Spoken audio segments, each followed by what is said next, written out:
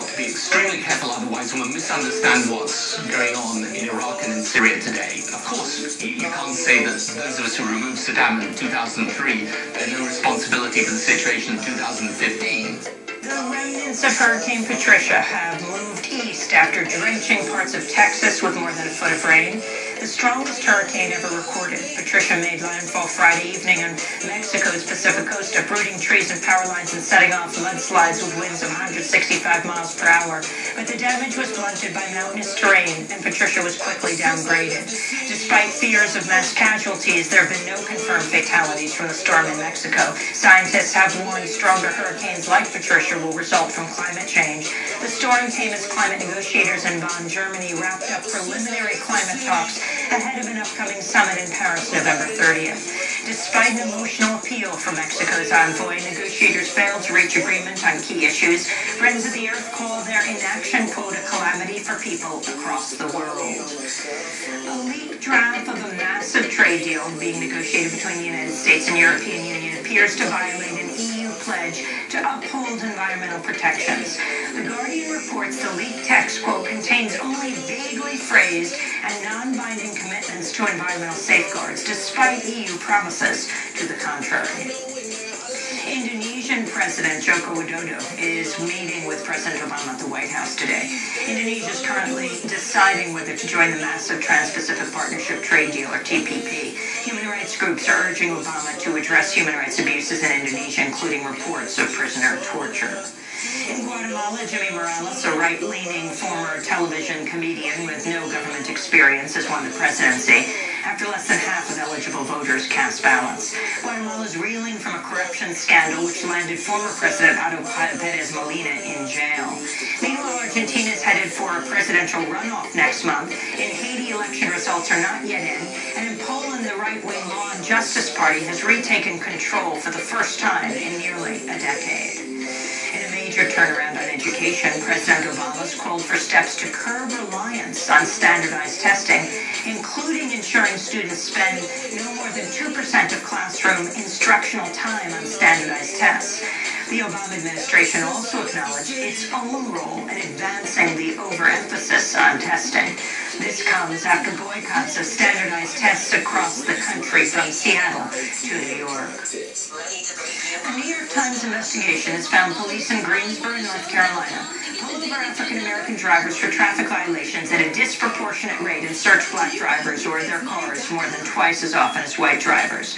Across four states that track searches made with the driver's consent, officers were more likely to search African American drivers but less likely to find contraband than if the driver was white.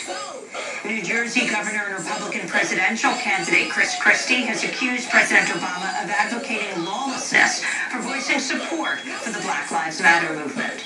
Christie made the comments in an interview on CBS's Face the Nation.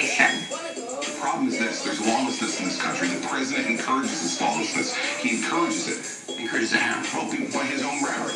He does not support the police. He doesn't back up the police. He justifies Black Lives Matter. I mean, But Black Lives Matter shouldn't be justified at all. uh, listen, I don't believe that that movement should be justified calling for the murder of police officers. No.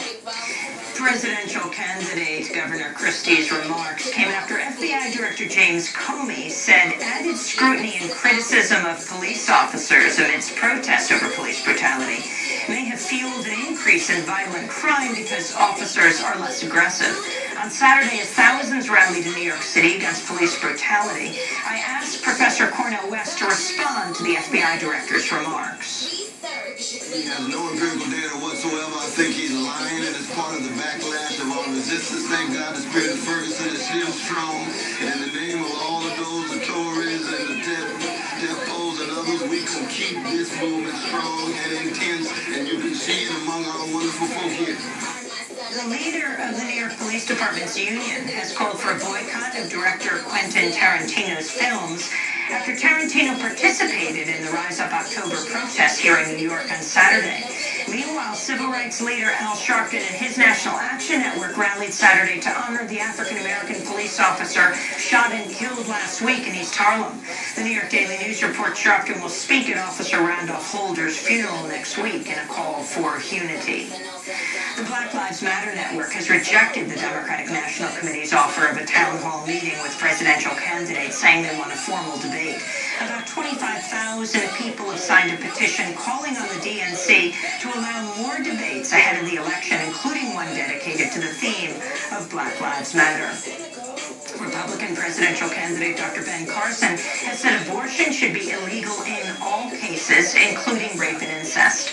Carson, who's now leading in the key caucus state of Iowa over frontrunner Donald Trump, made the remarks on NBC's Meet the Press in response to a question from Chuck Todd. If somebody has an unwanted pregnancy, should they have the right to terminate? No. Think about this. Uh, during slavery, and I know that's one of those words you're not supposed to say, but I'm saying it. During slavery, a lot of the slave owners thought that they had the right to do whatever they wanted to that slave. Anything that they chose to do.